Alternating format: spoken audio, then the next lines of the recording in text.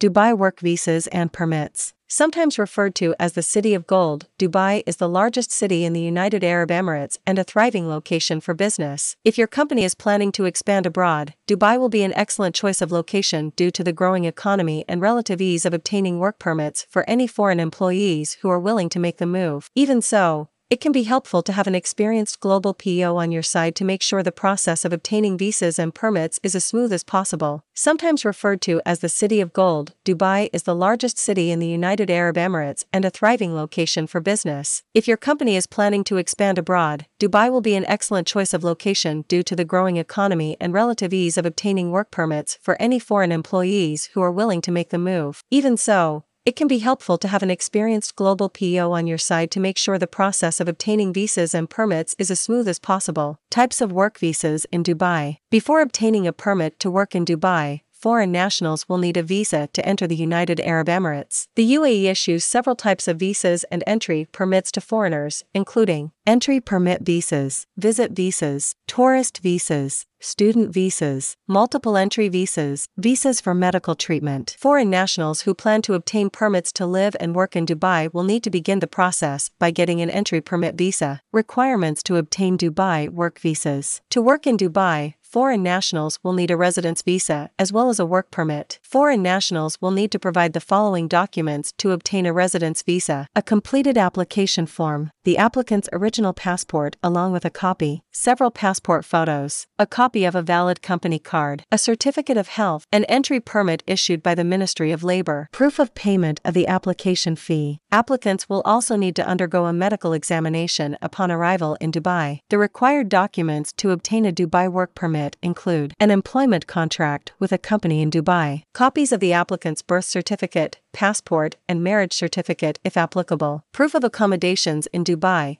such as a copy of a lease agreement, evidence that the applicant has sufficient financial means to support themselves in Dubai. Application process In Dubai, the employer is responsible for obtaining the necessary visas and permits for foreign workers. The employer is also required to shoulder the cost of any visa fees. The process is as follows The employer applies for approval from the Ministry of Labor to hire a foreign employee. The ministry issues an entry permit visa, which will allow the employee to enter the UAE and stay for an initial period period of 30 days. The employee travels to Dubai. Once they arrive, they have 60 days to obtain a residence visa. Upon the employee's arrival in Dubai, the employer begins the process of applying for a work permit, also known as a labor card. The employee visits an Emirates ID service center with their valid passport and entry visa to obtain an ID. The employee goes to a government hospital for a medical examination. The employee applies for a residence visa through the immigration authorities. The employee brings all of the appropriate documents to the Department of Naturalization and Residency Dubai, DNRD, where the residence visa will be stamped onto their passport. After obtaining residence and work permits, the employee may begin working in Dubai. Other important considerations Your company should also be familiar with the process employees will need to follow to bring family members with them to Dubai. Spouses, children, and even parents can move to Dubai with employees as long as they also obtain a residence visa. An employee who holds a residence visa will need to apply for visas on behalf of any family members they plan to bring to Dubai. Along with the standard required documents, they'll need to provide proof of their relationships, such as birth or marriage certificates.